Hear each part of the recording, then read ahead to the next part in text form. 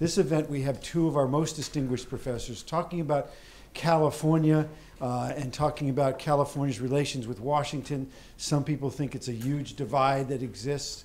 I think we'll learn a lot today about California's role in our public discourse nationally as well as internationally. We have Professor Manuel Pastor, who is a professor of sociology and American Studies and Ethnicity. He's a Turpanjian Chair in Civil Society and Social Change. Um, I've known him for a while. He is someone who has done tremendous research in sociology and American studies, but he's also an economist. He speaks the, the languages of all of those disciplines and does a fantastic job in each of these. We were lucky to steal him away from a couple different universities. And next to him is Professor Bill Deverell, who is American History in California in the West. He is uh, director of the Huntington USC Institute on California in the West and also involved in the Early Modern Studies Institute there as well. Um, what they're going to do, we're going to do a little differently because we want you to be involved and ask questions rather than a moderator asking questions. Um, so I've asked them each to do brief presentations, uh, giving out their arguments, and then we'll open it up for you for questions. And please, if you're going to ask a question, ask a question. Um, you can get on a, a speech. If you're going to give a speech, that's next week. Uh, but, but ask a question because we only have an hour. We end at 1 o'clock and, and we want to respect that particular time. So we want to get questions out. So without further introduction, Professor Pastor. Great. Well, glad to be with you today. I think uh, Bill and I are actually impressed there's a crowd here at all uh, for a couple of different reasons. Uh, two we knew about. Uh, one, it's Good Friday, and so some of you uh, may uh, celebrate that. Certainly for many people, it's important. The second, of course, is that it's the first day of Coachella. Uh, and so we thought that at least some of you would be over there, but fortunately, the tickets are so expensive. Uh, uh, many of you probably went to the LA festival last weekend, Brocoachella, uh, which was only $25. And then the third reason, I don't know if you realize this, Bill, but uh, that I thought this crowd would be empty is that just last night, Kendrick Lamar dropped his new album, Damn. Uh, and I know I've spent the entire morning listening to it, so uh, uh for the rest of you who are hip hop deprived, please uh, listen up. This is a great, uh, great album. It almost feels like the White Album of its era in terms of its conceptual nature. But we're here to talk about California. Uh, but I want to say this about um, California and where we're at right now. Uh, it's important to realize that California is in many ways America fast forward. If you look at the demographic change in California between 1980 and 2000, going from being about two thirds non Hispanic white to a little bit less, 47%, a little bit less than half non-Hispanic white. That is majority people of color. That's exactly the demographic change that the United States is going through between 2000 and 2050. And in many ways, particularly in this election, the US just had its Prop 187 moment. That is that point in the middle of that demographic change in which our own anxiety about it and fear in particular of immigrants led to Prop 187, which was an initiative that sought to strip away all services, including educational services, from undocumented immigrants in the state. So, America fast forward in terms of the demography. Uh, California has also been America fast forward in terms of economic changes and the kinds of anxieties that actually also played into the national election. In 1969, California, in terms of a standard measure of income inequality called the Gini coefficient, was pretty much in the middle of the pack. About half the states more equal than us, about half the states less equal than us. I wasn't born in California, but my family moved here in 1956. Uh, we actually we were in New York uh, City. We moved here because my sister had asthma, and they suggested that moving to Los Angeles would be good for that. Um, this was a remarkably uninformed area, era scientifically. I think this is when doctors were saying that you know camels with filters would be okay for you. Um, but anyway, we moved here, and uh, you know California always had this kind of spirit with a history of racial re- uh, restrictively covenants, deep racism. Uh, you know, ground zero for the internment, with a deep history of racism, was still perceived, particularly in the 60s as well, as a place of great opportunity. In 1969, about half the states more unequal, about half the states more equal. Currently, California is the fourth most unequal state in the United States. So as inequality has grown, it actually grew even more dramatically in California. Now, states uh, that outpace us in terms of equal opportunity include places like Alabama and Mississippi, states we've always looked to as beacons of social justice. So, so fast forward on the inequality. Uh, America fast forward on the reconfiguration of the economy. Uh, we, you know, it's hard to realize that the largest manufacturing center in the United States was Los Angeles uh, 20 years ago. So it experienced rapid deindustrialization, part of what led to the 1992 civil unrest. Um, we have experienced amazing reconfiguration with high tech. 40% of the nation's venture capital goes to just the Silicon Valley. One of the single largest IPOs, initial public offering, Snapchat, just came out of Los Angeles. So a reconfiguration of the economy into high tech and high end and high services. Uh, and uh, America fast forward in terms of a new urban renaissance, a sort of movement back to cities, which you see in Los Angeles, you see in the Bay Area, et cetera. We've also been America fast forward in terms of social change. We're one of the first states to move to a $15 an hour minimum wage. Uh, we basically have de facto citizenship rights for undocumented immigrants uh, for the most part in the state. Lots of different kinds of access to things, lots of movement on uh, social issues like LGBTQ rights, etc. and certainly America fast forward in terms of recognizing that, you know, science is real. Climate change might be happening. We should do something about it. And this is definitely a state that's been first mover on those issues. So the really interesting question, I think, for the nation is uh, that California, particularly in the early 90s, in which we experienced half of the country's job losses, huge deindustrialization, tremendous anxiety of the sort that we're now seeing in the industrial Midwest, tremendous demographic change and tension around that with Prop 187, and then a series of other racial propositions in 1990, like the elimination of bilingual education, the elimination of affirmative action, the three strikes law, huge incarceration, partly driven by racial fear. All of that is a lot of what seems to be happening nationally.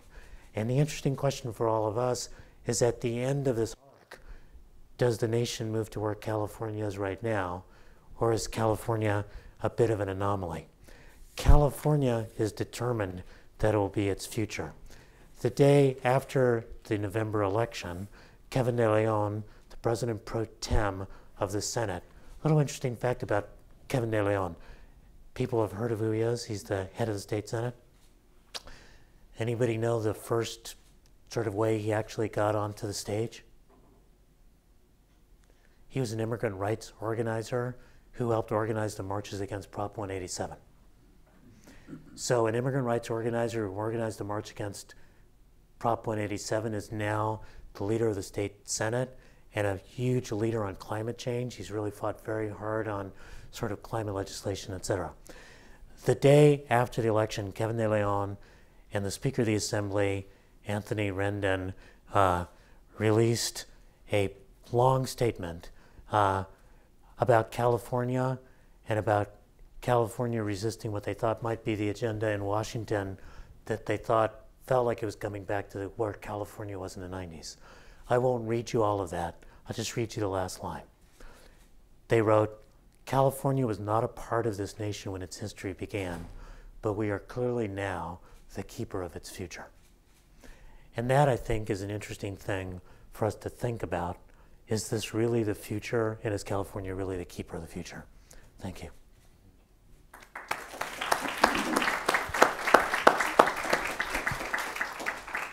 I'm, uh, like Manuel, I'm very pleased to be here. I think it's a really good idea for the uh, college to do these kinds of things, so I applaud you all for being here as well. I'm grateful to be asked. I like this notion of California as the rest of the country Fast Forward. I think I'd ask you to keep that in mind because I'm going to play with the issue as an historian of the future, whether the future happens here first or not. It's not quite the same thing. Trendsetter and Fast Forward are different sort of concepts. So much of California's supposed relationship with the future is really pretty soft-headed uh, commentary, based not much other on not much other than make-believe or boosterism or cantankerousness. Often this is revealed in binary relationship to history, as in the, hist- the past and the future. And of course, as an historian, that's where I start to get interested in the dialogues. So, some examples from the, I think, wrong headed ideas about California and its relationship to the future. California and, and, Los Angeles is most often the butt of this kind of commentary, is a place without history, a place that doesn't care about history, a place beyond the reach or contextualization of history. And if you're from California, you recognize this. People pick on California as a place that has no history. Oftentimes, there are people who are not from California who do that. A place where the race to the future is so energetic that the past is not only trampled, it somehow ceases to exist. Or the variable on this tends to be sinister comparisons to places elsewhere, places with a lot of history. And think New England or New York and the generations of, let's say, the American experience there as compared to California as a place with apparently not much history. Well, that doesn't make any sense. Uh, every place in which humans have been or have even thought about on this globe has history. And the depths of history are equidistant and equal, equal depth, regardless of where you are. California has a complex history, and it has a complex relationship between the three temporal dimensions of past, present, and future. But just because California can be, and I really think it can be, futuristic or future minded, that doesn't erase the past. It might bury it, but it's still there. Or thinking about the future may invite amnesia of pretty large scale. But of course, not remembering or not knowing the past is not the same as not having one. California has a present, California has a past, and California certainly has a future, which Manuel has touched upon. And they may mingle and mix with one another across all manner of prescriptions and proscriptions the good, the bad, the promising, the depraved, the inspirational. It's complicated, obviously. So, does the future happen here first? In some sense, of course not. California answers to the same kinds of physical laws and relativity as anywhere else on the earth. And at least since time zones, we might even say the future happens first in Eastern, in the United States context, Eastern Standard Time, and then walks itself back through Central Mountain and gets to Pacific Standard Time. There's some tension between trendsetter, or this very useful notion of fast forward, the rest of the country, California is the rest of the country on fast forward, and a place that supposedly bends time. California exists ahead of some temporal curve. I feel more comfortable with the trendsetter fast forward concept, and we can see that in the historical record. Historical record of the fairly recent past that Manuel talks about, but also deeper. Um, some of the it happened here first ethos needs historical contextualization. And historians are rightfully quick to chastise or scold or ask societies to reflect on the difference between being the first and being perhaps the best or being good. Not always the same thing, of course. So, for instance, take the gold rush. Headlong rush to continental expansion, tied to the gold rush, no question. Quick statehood. California doesn't even have a territorial status, it jumps to statehood. It probably accelerates the coming of the Civil War. It might actually herald the future, as the gold rush creates visions of vast wealth dancing in the heads of ordinary people in ways that A, weren't possible before the gold rush happened. Just small time farmers thinking, I'm going to go to California and get rich. So much so that in the 1850s, a new word enters the lexicon, California, which in slang means money. So already by 1851, we find letters where people say, I'd buy that, but I don't have the California. I don't have the money. Weren't possible before it happened, those visions. And also, the gold rush and California's role in it, prime role obviously, rose with American capitalism to be the cornerstone of American desire for wealth, if not a belief that they could get it. So, in many respects, the gold rush is the Gilded Age a half century before that happened. There's a trendsetter phenomenon. For both good and ill. California prophecies, prophesizes anti Asian behavior, for instance, in all manners of horror legal, commercial, residential, homicidal. California goes through it first and worst in the 1870s and the 1880s and drags the rest of the country along with it. And then decides to revisit all that in the alien land laws of the early 20th century, and as Manuel pointed out, the grim racism of internment in the 1940s. That's a trendsetter, but not worthy of any praise. California invents modern fame. The California dream of the gold rush, mixing adventure and wealth, transforms once it slams into Hollywood. And by 1910 or so, there's a new fantasy of a California dream. Not just of getting rich, but getting known, getting discovered, getting recognized, becoming a celebrity.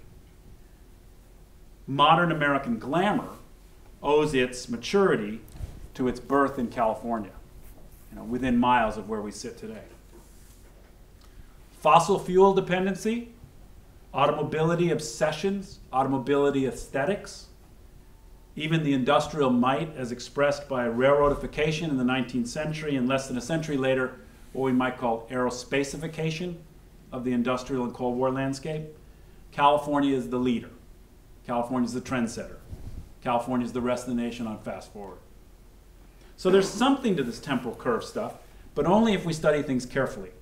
We need to place things in context and we need to pay attention to chronology and change. And we need to be wary of saying something that happens in California now is just like something that happened in California 80 years ago.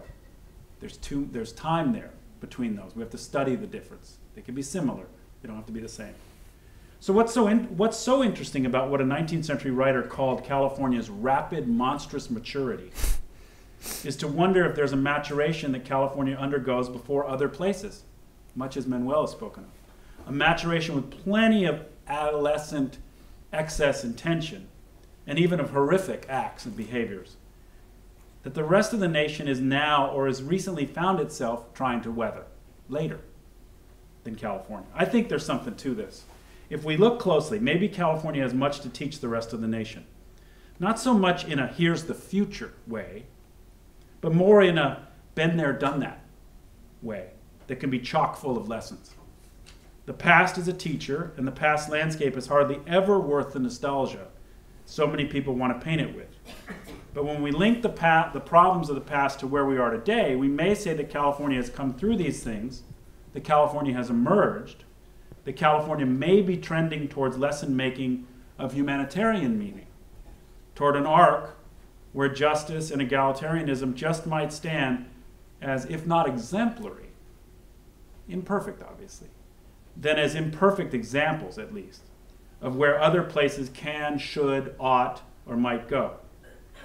The California past is endlessly interesting, intrinsically. But it's when we find that seam between the past and the present and we stand on it to imagine the future that things get all the more meaningful and frankly exciting. Thank you.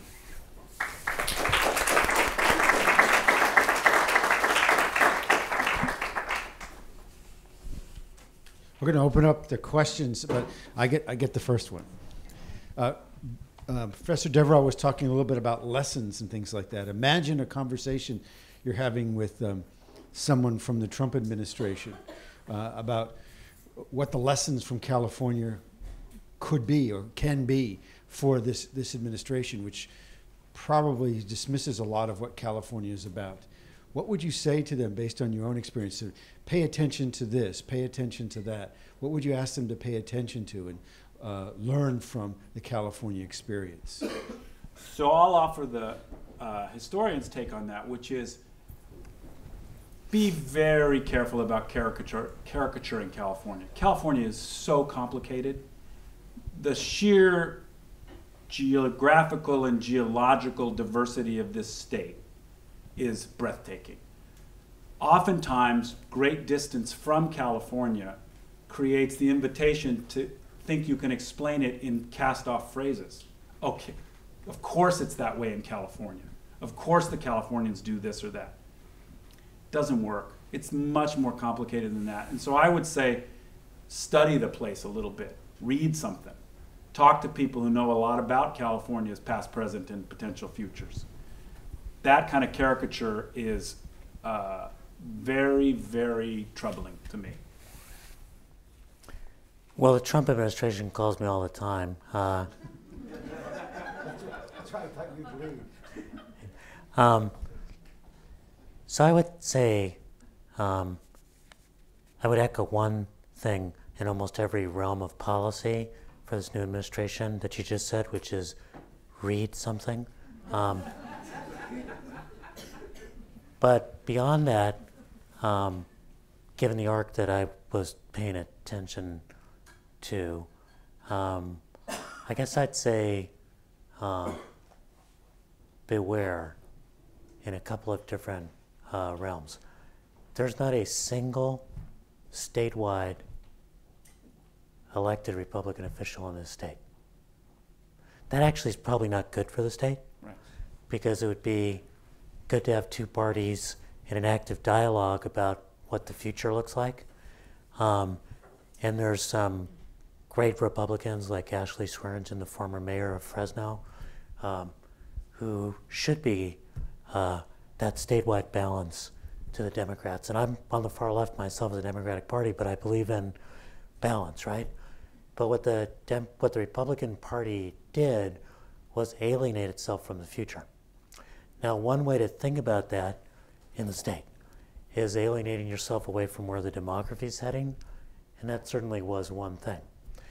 But you know, if you poll by age, right, it's an older group that thinks the idea of mass deportation might be useful to bringing jobs back. For most people, kind of 40 heading south, they have a lot of immigrants who are their friends. They think this is kind of a sort of inhumane thing to do. Um, if you think about the economy and where it's going, a strategy based on coal, which, by the way, I have not noticed a lot of Mexican immigrants clamoring for coal mining jobs because those are not the future. So, an economic strategy sort of based on hanging on to the stuff that's disappearing anyway. Interesting fact uh, of the counties that voted for Hillary Clinton in the last election, they hold two thirds of the nation's GDP. Of the counties that voted for Donald Trump, they hold one third of the nation's GDP. So, if you think about the demographic future, if you think about the economic future, Trump is not calling me for advice. But we've watched a Republican Party sort of shoot itself in the foot in the state of California. And if I was a Republican concerned about the future of the party, I'd be really concerned about this direction because it seems to be cutting off from the future sources of economic vitality. I mean, after the travel ban, the 12th richest guy in America, Sergey Brin, who founded Google, went to the San Francisco airport to protest. And because he's Sergey Brin and owns Google, the following Monday, he had a demonstration on his own campus against the travel ban. I mean, that's a good strategy for linking yourself up with the sort of growing parts of the economy and going forward. That, I think, is the big warning, perhaps not to Trump, but to the broader Republican Party. I'm curious about the discussion regarding um, the mega cities that we might see in the future and how, despite the growth of cities and people returning to places like Los Angeles, that um, when you look at national politics, like we've all seen, that um, despite cities voting in one direction, more rural areas are voting in a different direction. I wonder if you can comment on that, both within the statewide context as well as the national context, in terms of looking towards the future. So, uh, to me, the movement back to urban areas, it'd really interesting to see what Bill thinks about it, because I'm probably thinking about it in too contemporary a fashion. But it seems to me like it's something that's going to continue because the economy's involved and evolved in such a way that um, the uh, knowledge economy, the creative economy is calling more professionals to cities who want to interact. And even in places that were suburban uh, centers of high tech, like the Silicon Valley, most of their programmers are now wanting to live in San Francisco. So there's some economic changes which I think are driving this. There's some demographic changes which are driving this, which is that um, after years of our folks our age being told that a uh, um, buying a house was your best investment, your best security for the future, a lot of millennials have just watched the generation in front of them buy homes, get wiped out during the big financial crisis, right? And then wind up being stuck living in Riverside, right? Because that's where they that's where they drove to buy a home. So a lot of these millennials are now staying in cities. They're also more uh, open to using mass transit, partly because they want to be on their cell phones the whole time. And uh, while they still do that while they're driving, it's irritating to everyone else. Uh, so I think there's economic forces, demographic forces, and then there's kind of policy forces as well. You know, we've thought for the last 30 or 40 years we've got an urban crisis, so there's been all these incentives to try to make cities work. It's working. Um, and uh, that, along with the sort of climate and sustainability pressures that are out there about cities reducing their footprint, uh, the, the, the uh, greenhouse gas uh, footprint or environmental footprint by getting people to live more compactly. I think all of those things point in the directions of cities really continuing to move forward. There is a big disjuncture politically because of the way districts are drawn. Um, and but that's because of the districts that were drawn in 2010 after the Tea Party wave. It'll be interesting to see what happens after 2020 uh, when there's a new census, politics might be different. So whether or not the city states their comeback will be interesting to see. But just one example, um, the cities have a very different attitude around immigrants than, and the big mayors, right? than do the more rural uh, parts of what were the Trump coalition. So I agree with all that. Um, this landscape about metropolitanization and urbanization is filled with little catchphrases that are oftentimes not exactly as true as they might be said to be true, but I think some things are pretty clear. Um, metropolitan growth after the Second World War, let's take California as an example, was built around um, acquisition of great amounts of suburban space, and people built single family houses uh, with reasonable sized yards and two car garages, and that suburban space went like that way. What's happening now with metropolitanization is it's going this way, it's going up.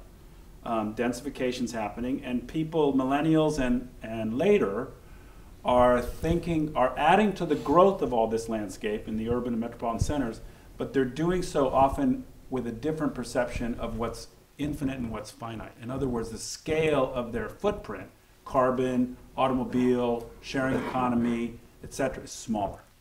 And that's pretty interesting. I mean, that's already, that, that horse is out of the barn, that's happening, and that's absolutely fascinating. Um, the other point about Southern California is, you know, who's to say where greater Los Angeles begins and ends? Greater Los Angeles does it stretch to Manila? Does it stretch to Tokyo? Kind of. It certainly goes to the far north end of the San Fernando Valley. What's its southern terminus? Probably Tijuana. So, in other words, there are mega regions that are tied by kin, economy, the Los Angeles harbor, the Pacific Ocean, um, containerization. There are these mega regions that political and economic actors and national and international figures need to pay attention to. Because if they, if those mega regions, either political sophistication or happenstance, decide to flex electoral or other muscles, they will move mountains. There's a little subtext to something Bill said, which I'd like to lift up. I'm sure you would agree with it. Is that this densification? It's not just downtown Los Angeles; it's the inner ring suburbs as well, right? So um, it may so a Pasadena, right? Glendale. It may surprise you to know that two years ago, of the 10 hottest um, real estate markets in Southern California, one was West Adams, which makes sense given all the investments going. To, another one was Compton. Wow. Be, probably because of Kendrick, actually, but uh, but mostly because uh, the Blue Line, right? And you can get access to Long Beach and uh, and the mayor, Aja Brown, uh, who's a USC graduate, keeps saying everybody knows where Compton is, right? Um, so as things change there, and so it's not it, these suburbs are really important too. So when we talk about cities coming back, we're not just saying what people have traditionally normally what's like a Detroit hollowing out and then the suburbs. The suburbs are denser now too. And the, the other thing, one wedge, one I'm sure this is being studied by social scientists. When Airbnb gets into suburbs, and people start Airbnb in their places that are suburbs, that is probably some indication that the sharing economy is arriving there in pretty big ways and economically viable ways, interesting ways. And then what's next? Uh, what, how do suburbs develop into other things than single family houses, two car garages, and yards? And Airbnb may be a, a wedge in those places to see what might develop in terms of different kinds of housing choices so my question is how is california exerting now international perhaps influence or presence within the uh, within the ring of fire uh, countries such as china south korea uh, mexico australia? How is and how is that moving california towards the future that perhaps is different from the east which is generally more uh, perhaps influential within western european countries? And how will that affect the politics of the future can I give the historical? Yeah. So I'll go way back and I'll let my friend take us into the present and future. Um, in the 1890s, speculators, venture capitalists, railroad people, and some politicians decided that the Southern California ambitions required a major harbor complex.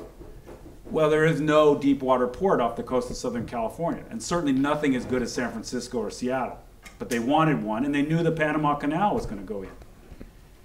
So that was a jumping off point deliberately and fundamentally towards Asia.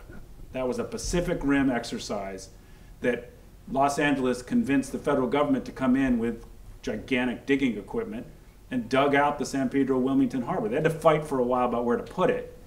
There was a move to put it in Santa Monica, which would have changed all of our histories, but they didn't. They put it in San Pedro Wilmington, and now it is an economic driver of prodigious proportions. And it was built upon now more than a century's vision that California, particularly Southern California's connection across the Pacific, was basically the Northwest Passage. We're gonna we're gonna cross that ocean. We're gonna connect Occident and Orient, East and West, and Southern California with its harbor complex was the key technological and economic driver of that, and it, it has become so. So, a couple of things looking forward on this, and I guess it relates to kind of the current political moment too. Um, if you look at a lot of the building going on in downtown Los Angeles, right? A lot of that's being driven by Korean and Chinese money, certainly the Korean Air building. The company Greenland sounds like it might be from Greenland it's Chinese. Uh, just like Koreatown turns out to be dominantly Central American, but that's Los Angeles for you.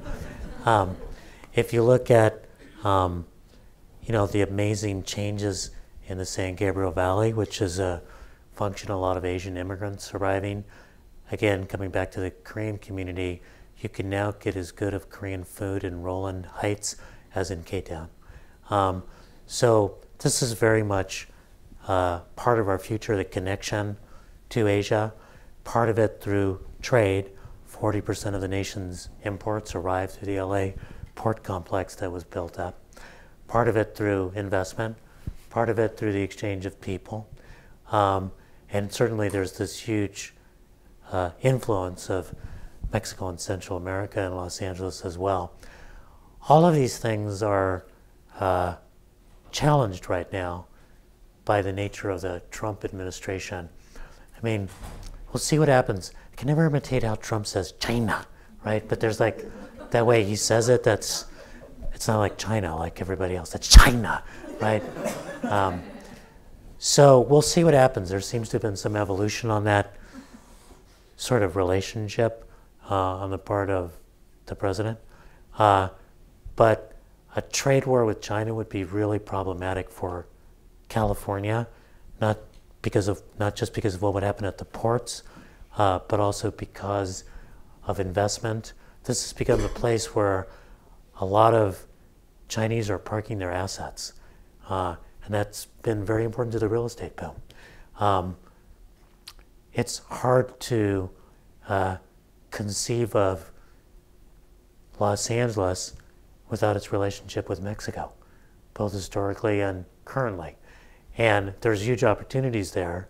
Uh, there's so much fear, not just of the border being shut, about which there can be many debates, but whether or not NAFTA gets re- rewritten in a way that cripples a set of industries that have become so intertwined that, particularly for the auto industries, they really don't know how to decouple. Right now, when you build a car, it's got Mexican, Canadian, and American parts, and that's an American car.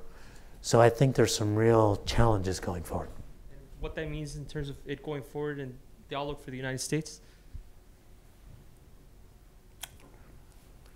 I'm not knowledgeable.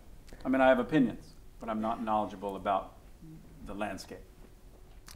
Um, lack of knowledge never stops me, so I'm surprised, Bill, that you would uh, stoop to that. So, so a couple of things about this, which is that the sanctuary term is used, and I've used it too. It's a little bit of a misnomer. Uh, sanctuary usually means protection. The sanctuary declarations really came during the Central American Wars when there were refugees that were under threat of persecution, and churches would, you know, declare themselves to be sanctuary churches. What that term uh, really means right now is that um, whether or not local authorities are going to cooperate with immigration authorities, which in this case is Immigration and Customs Enforcement, and essentially local authorities doing the policing work that ICE Immigration and Customs Enforcement wants them to do. And that's really what the debate's about. Um, so, my sense is that that's going to catch root even more in California for a couple of different reasons. One is, and I see at least one student is in my class, you've heard me talk about this way too many times. Um, it is bad policing for local police to cooperate with immigration because you can't gain the trust of a community in which you're policing if they feel that they might be collateral damage and hand it over to immigration and customs enforcement. So you're not going to call the cops if you think, if your home's been broken into, if you think that while they're there, they're going to ask you about your status. Um, you're not going to call the cops on your husband that's abusing you if you want him to be disciplined, but you don't want him to be removed from the family. Um, so there's all sorts of reasons why Los Angeles police, at least since 1979, declared it became much more the practice in the 90s, not cooperating with local police. So that's one whole reason. There's a whole kind of method of policing that's developed that's based on not cooperating with immigration and customs enforcement. Second reason is frankly political. And here I think two different things are going on. One is that you've got people like a De Leon, for whom the whole question of immigration is personal. His mom was undocumented. My dad was undocumented. Um, there's so many family members and mixed status, and so it feels like a deeply personal issue. And then second is Jerry Brown. Um, and here's the thing about Jerry Brown. I don't know whether Jerry Brown actually cares about immigrants that much. but he really cares about climate change, and he is so pissed off at the federal, the new federal government about that that it's extending to everything, right?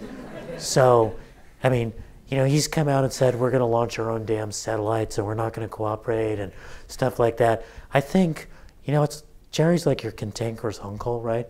Um, who, if you press the wrong button, he'll be pissed about everything, right? And so right now, he's like immigrants' best friend, right? Uh, you know, he doesn't have a huge history of that's been an issue that's been of deep concern to him, but it's wrapped up in a lot of where he thinks the federal government is getting it wrong right now and where he thinks the federal government can get it right. And the only thing I'll add to the sanctuary uh, notion is there are a lot of people, Kevin De Leon among them, because of the looseness of the word, in other words, what does it mean? What does it mean legally? What does it mean in terms of differentiation of uh, police powers?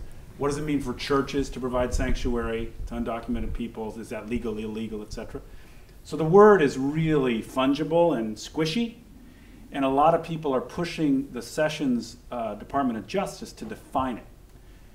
They're not going to do that. I don't think. It's too powerful for them as a grab bag of emotional and other, it means whatever people want it to mean. So at some point, legally, they're going to be forced to do it in various cases and all.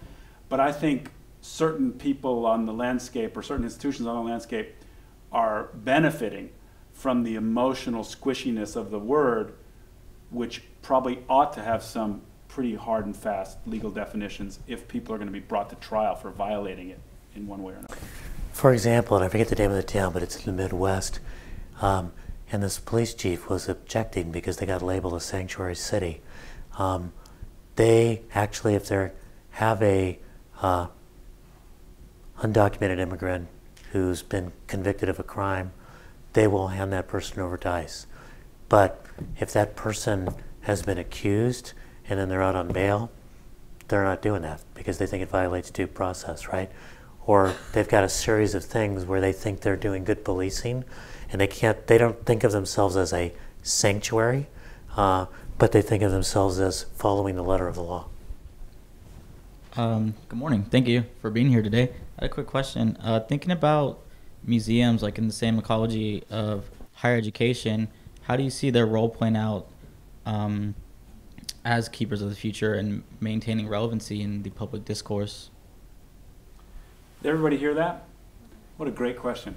If you didn't hear it, uh, in in this world of public dialogues, um, what role in the future do museums have as keepers of historical and cultural patrimony open to the public? It's a really good question, and it's a really hard one. But I'll give you a comparison. This is a private university, obviously. But this university's service to the region, the nation, the world will be judged in part upon how much a private university can act as a public university. How can you hybridize that? So, how can you be open to the public? How can you offer um, support to solve public problems? Museums are similar. Museums, they're not always private, but they're, they're shrines to artifactual things that we've decided are important. And that comes with its whole set of expensive curatorial and other kinds of care, and they don't have endless supplies of money. So, how do they interface with a public hungry for knowledge and dialogue and not be seen as above it all? How do they become egalitarian keepers of rare and priceless documents or mastodons or whatever they are? It's a really interesting challenge. And one way to do it, I think, is we have the Natural History Museum across the street. It's a glorious natural history museum.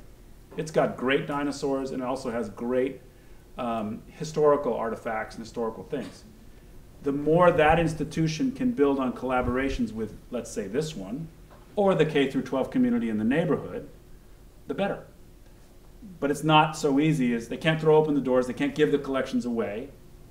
It's a real challenge, and museum educators deal with this all the time. And usually, what they do is they build an education department, and they say, "We're going to do the fancy stuff, and you deal with the fourth graders."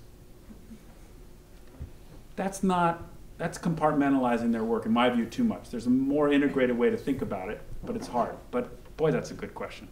I wish I had. I wish I knew the answer. You know, I, I, one thing I would just been hearing a lot about and would point to, and if you're interested, be worth it for somebody to research further. The Broad Museum downtown apparently has the youngest uh, and most diverse audience of any art museum. Uh, and Eli Broad, the main donor for it, is extraordinarily proud of it. They made a special effort to make it millennial friendly in terms of how you book yourself in and how you wait. I mean, there's like a whole experience thing. They made a special effort uh, to attract a lot of young uh, docents of color who they thought would then make it look like this is Los Angeles, right? Um, and so there's a lot to be learned from what they've been doing there that I think might be relevant to museums generally, because these are incredibly important institutions that should not be divorced from a younger generation. Right. Um, since the last election, there's been um, there's been a lot of rhetoric in the media about how people on the coast are completely off base with the desires and opinions of the rest of Americans, California in particular. How can California make sure that the progress it's making spreads to the rest of the country and is accepted by the rest of the country? I'll take it first. Um, s- s- part of me wants to answer that by saying, just hold on.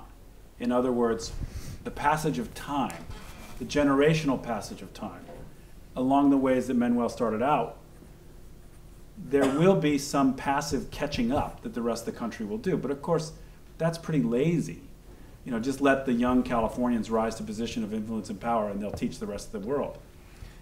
So, um, this is why Kevin De Leon's job is so hard right now, because much of the nation is looking to California for leadership, and another great chunk of the nation says we don't want to hear from California. California is divorced from the lives we live and the world we imagine raising our children in.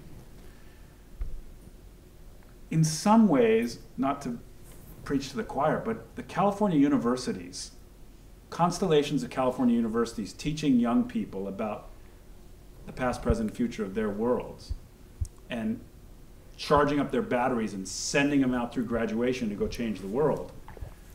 It's never been in California than it is right now because of these disparities. You know, California stands out. California's always stood out in certain ways, but boy, does it stand out now. And it's going to attract the slings and arrows of opposition. So the De Leon has to be imaginative, and De Leon and thousands of others of us has to be imaginative and tough.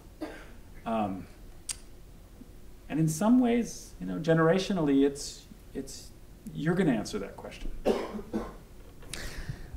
So, a couple of things that sort of similar question that I've been asked quite a bit since the election as we've, as Di and others have gone around the country talking about stuff. Um, and I'll end with a story on this too. Uh, is, you know, well, what about the middle of the country? What about the white working class that got lifted up? Um, and I know as I've thought about that, this would be a good nod to Bill about how important history is. Uh, and the reason is, it's at a meeting and people are talking about, you know, folks, they lose their jobs, right?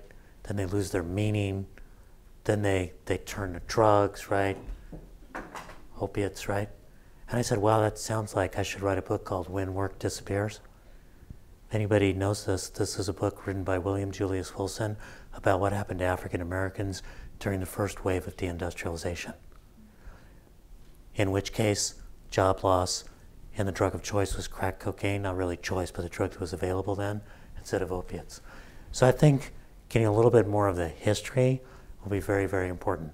I think more immediately, um, thinking about something I think California can do, because you can't really go to another state and say, you guys got it wrong. Uh, um, you could, but you won't be there long. Uh, and what I have been talking about is defend, develop, and deploy. Defend means taking what we think we've gained in California and trying to defend it. The stuff on climate change, our rules about the mileage uh, requirements for car fleets, right? Um, our $15 an hour minimum wage, um, all of our uh, protections that we've put in place for uh, undocumented immigrants, you name it, defend it. Um, and, you know, they've hired Eric Holder and brought back uh, Xavier Becerra uh, to be the Attorney General. Second, aside from defend, is develop. We've got a special responsibility to show that when you provide some umbrella for undocumented immigrants, that they thrive, that they contribute, uh, that they do well, their children do well. That when you raise the minimum wage to $15 an hour, that you don't shipwreck small business, that you've got the programs in place to make sure that they can do well. That when you uh, have strict environmental regulations, that you're growing a green economy, you're not costing whole jobs. We've got a special responsibility to make sure we do this right. And that means really getting into the nitty gritty of implementation. The last is deploy. Uh, now, this is more directly political, and I'll close with something that's not. Um, Nevada voted blue. Now, you might attribute that to Nevada. It's partly true. But for the last five or six years, people have been running organizers into every election in Nevada. Arizona moved six percentage points in the direction of a Democratic candidate versus a Republican candidate. That's because there's a lot of deployment of organizers from California to do that work. So defend, develop, and deploy. And then the last point, I guess, is diffuse. And that is to help people lose some of the fear of the future that they've got. A couple days after the election, I was in Pennsylvania, which is a state that went for Donald Trump. I was asked to give a couple of talks to something called the Coatesville Youth Initiative. One of them went so well with the adults that support it, they said, Can you go speak to the young people? So I went to the audience. This Coatesville was an inner ring suburb. It's undergone rapid demographic change. Most of the elementary kids there were African American Latinos, smattering of whites and Asians. And I realized something which many of you should realize when you're speaking to a group of high schoolers it'd be much better to be an astronaut than a professor. Because that's a far more interesting job, right? They're just, they're like, who are you? So I decided rather than giving a talk, that I would ask them, um, this is a leadership initiative. What do you think makes for a good leader? So here's the answers that came up um, listening, teamwork, humility, respect, collaboration. And I realized two things. One was the country had just elected a president who demonstrated none of those values. And that's a pretty strong signal to be sending them. The second thing I realized is that's the America those kids, a lot of people are scared of, and their values are straight out of the Boy Scouts, right? Humility, respect, and every time you work with young people, particularly diverse young people, you realize that the future actually is in good hands. And what we need to do is to repair this generational divide in which older folks seeing these young people are somehow scared and they don't realize that the values that are driving them responsibility, respect are the fundamental values we've always honored in the United States. So we need to diffuse the fear even as we defend, develop, and deploy.